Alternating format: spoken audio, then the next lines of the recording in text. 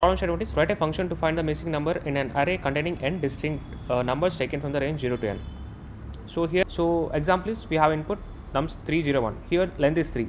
So and the output is the missing number is 2. So how to find the missing number? You just we can just take the sum uh, or the uh, n, numbers. So that is n into n plus 1 by 2 and subtract the actual sum of the array. So that's how we can find the sum and missing number so the code for this is like we have the uh, class defined missing number and then uh, we define the method find missing number which takes the integer array. And uh, firstly we are finding the nums length using a nums dot length uh, and showing it to n variable.